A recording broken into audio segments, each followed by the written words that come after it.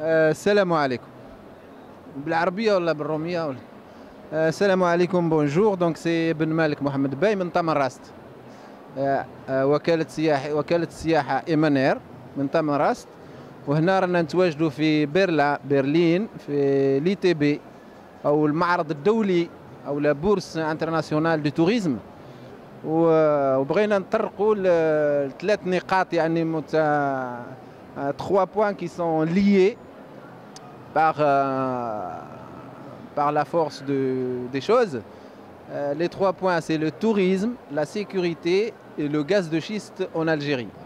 Donc euh, le tourisme, on en a parlé de ce point de vue de, sécurité par exemple. Depuis 4-5 ans, on, a un grand problème de, la destination Algérie à cause de ce qui se passe dans la région et notamment euh, toute l'historique de, des problèmes sécuritaires ch chez nous.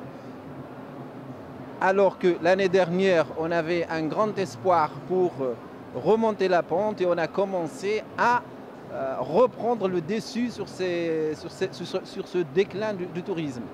Jusqu'au mois de septembre, quand il y a eu cette triste nouvelle de, la, mort d'un touriste euh, français euh, dans la personne de Gourdel, euh, qui était parti d'une manière euh, personnelle de toute façon dans la région de la Kabylie, qui était une région depuis peut-être 20 ans très sensible de ce point de vue sécuritaire.